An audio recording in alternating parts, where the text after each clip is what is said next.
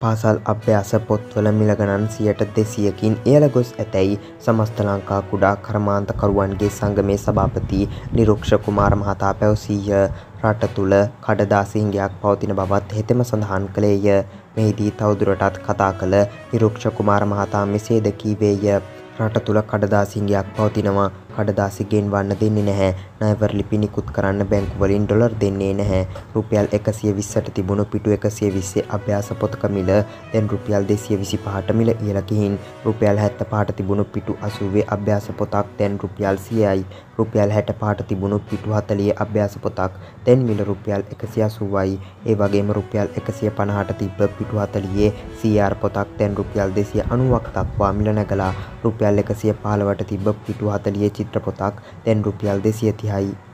මේ අතර ශ්‍රී ලංකා පොදුජන පෙරමුණට නව තරුණ පාක්ෂිකයන් බදවා ගැනීම සඳහා නාමල් රාජපක්ෂ මහතාට විශාල වගකීම් ප්‍රමාණයක් භාර දී ඇත.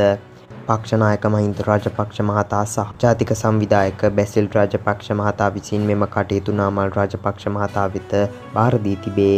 ඉදිරි මැතිවරණ සහ පක්ෂය සංවිධානය කිරීමේ කටයුතු වෙනුවෙන් වැඩමුළු විශාල ප්‍රමාණයක් පැවැත්වීමටද එම පක්ෂය තීරණය කර තිබේ.